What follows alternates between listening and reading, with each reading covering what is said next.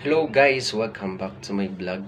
Ayan, for today's video is um, may kakainin tayong pagkain na mabisang pantanggal daw ng hangover ayan, na napanood ko sa TikTok. Ayan guys, kaya ito try natin to guys.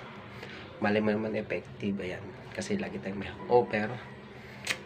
Hindi pala, medyo lang. Ayan. Kasi malakas tayo uminom. Paano masabi? Tinatanong ko nga eh. Guys, tara, simulan natin. Few moments later.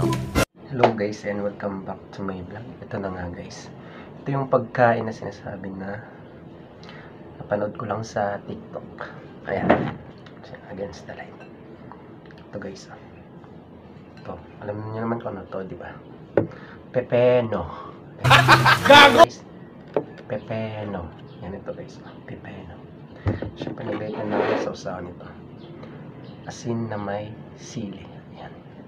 Ayan. Siyempre, mabisa din daw guys na ah panghula ng oven ay ang pag-inom ng madaming tubig. Ayan. Kaya natin ng isang pitchel. Ayan. Isang pitchel ng tubig. Ito guys, pepeno. Ayan. Simulan natin to. Mm. Hindi ko na siya guys binalatan kasi kinakain naman yung balat na ito.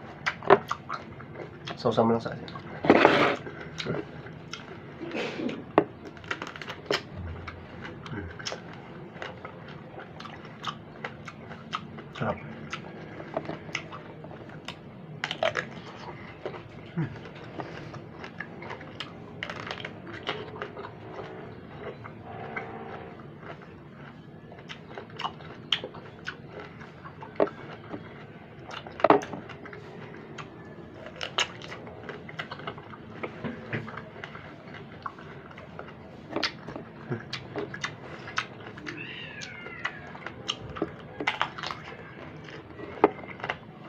So guys, nugasan ko na pala ito bago ko kain.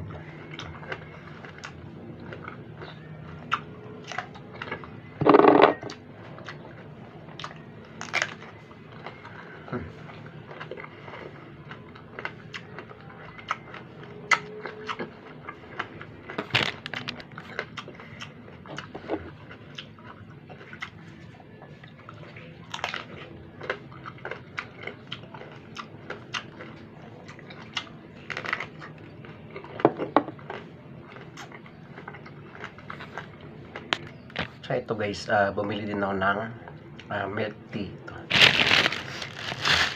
Isa ito sa mga kapatanggal ng hangover.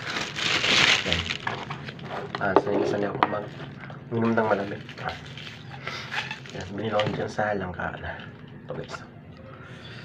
Mabisa rin itong pangkola ng hangover kasi malamig. Yan. Ano natin. Masarap. Ay.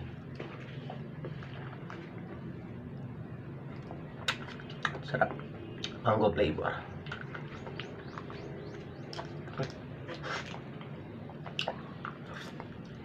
Sayang. Guru hasil. Ya.